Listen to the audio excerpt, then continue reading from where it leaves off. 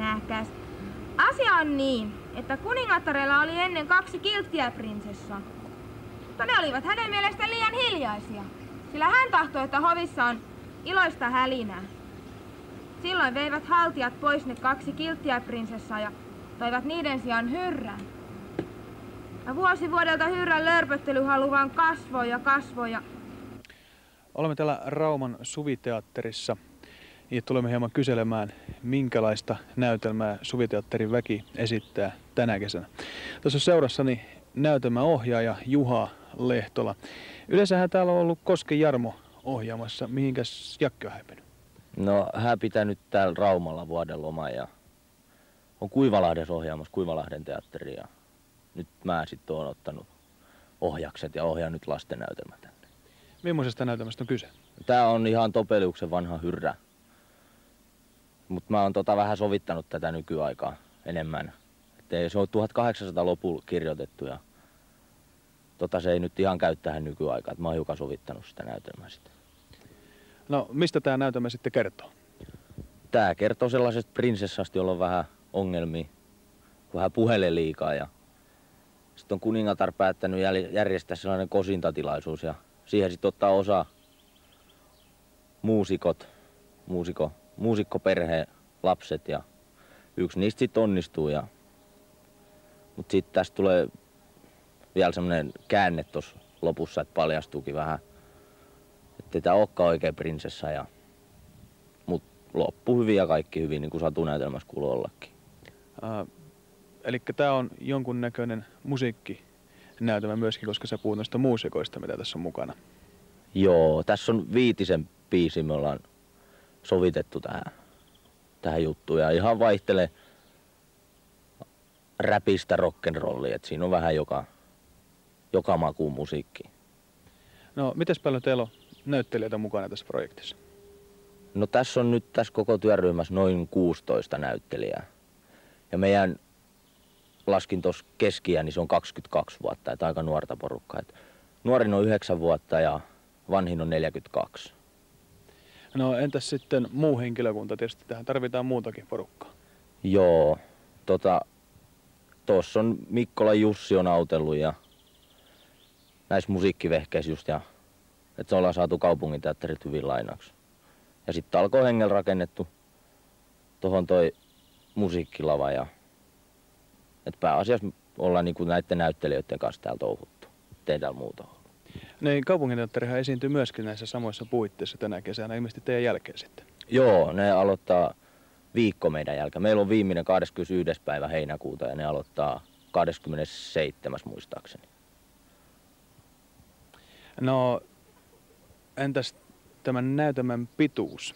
Kuinka pitkä tämä on sitten, jota lapsille tarkoitettu, niin jaksaako lapset katsoa? No kyllä mä luulisin. Tää on noin reilu tunti. Et ei tää ole kovin pitkä, että lapset jaksaa katsoa. Et ei ne pitempää juttu varmaan sitten keskittyykään. Ja koska oli ensi ilta? 26.6. Silloin alkaa ja mihinkä kelloaika? Kello 18. Tervetuloa. Koska hänen korkeutensa prinsessa liukaskieli kärsii huolestuttavassa määrässä suuren kaunopuheliaisuuden tulvaa ja koko valtakunnan onni ja menestys on siten vaarassa. Niin julistaa kuningatar kaikkein armollisimmin kilpailun, johon kaikki maakunnan naimattomat miehet, olkootpa mitä säätöä tahansa, saavat ottaa osaa. Ja tulee kilpailijain huomisaamuna saapua kuningattaren puistoon ja se, joka onnistuu saamaan hänen korkeutensa vaikenemaan viisi minuuttia, kuulkaa vain viisi minuuttia, se saa hänet puolisokseen ja koko valtakunnan perinnökseen kuningattaren kuoltua. Mutta se, joka koettaa, mutta ei onnistu, saa istua jalkapuussa, kunnes on oppinut ulkoa kaikki, mitä hänen korkeutensa 12 päivän kuluessa on suvainnut hänelle lausua. Mika Moilanen, sä oot sovittanut musiikkia tähän lastennäytelmään. Millä tavalla tämä homma sulle tuli? No, mä olin samassa koulussa kuin Juha tuolla Lahdessa ja sitten kun Juha pääsi tänne ohjaamaan, niin se kysäsi, että miten olisi, jos tulisit mukaan tänne ja siitä se lähti sitten. Täällä ollaan nyt. Eli et ole raumalaisia. En ole raumalaisia, on tuolta Itä-Suomesta Ämmän saaresta. No nyt kun sä oot musiikkia Raumalla sitten tehnyt tähän juttuun, niin millaista se on ollut sun mielestä? No ihan kivaa. Tota, ollaan aika pitkälle tehty silleen nämä biisit, että mä oon antanut pohjat ja sitten näille muille soittajille on niin kuin antanut vapaat kädet muotoilla biisiä siihen suuntaan, mihin se sitten menee. Ja sä oot myös yksi ilmeisesti näistä näytelmän muusikoista vai? Joo, mä oon semmonen Pekka. No, mitäs luulet nyt kun näin toi esi, ensi-ilta lähestyy tuossa noin, niin saatteko te homman toimimaan siihen mennessä sillä tavalla, että yleisö lapset on tyytyväisiä? Kyllä varmaan, että no, kyllä ne aika hyvin on kasassa nyt noin biisit ainakin, että sen puolesta ei pitäisi olla ongelmia. Hyvä, toivotetaan koko väelle sitten meidän puolesta ainakin niin oikein hyvää kesäteatteri kesää. Joo, kiitos.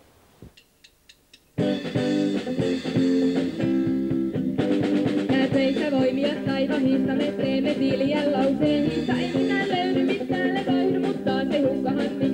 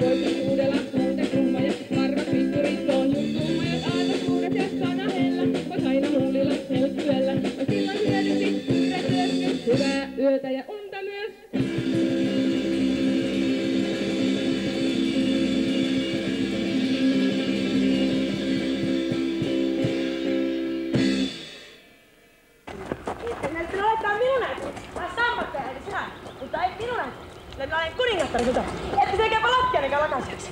Ja sitten kun hän tuntuu juoksee keskellä ja hän nukuu parhaan. Sillä milloin saada levähtää? Sillä on päivän pitkä aikatyö. Mä tänne tyhmille havineitsyille ja tehtäviä. Olen minä saa levähtää, mitä koko muu saa levähtää. Ja miten muut saa levähtää, mutta minä en saa levähtää. No sinä surit niinku likakarpeilta, minulla on suun vuoroa, kun minä surisit, surisit, surisit.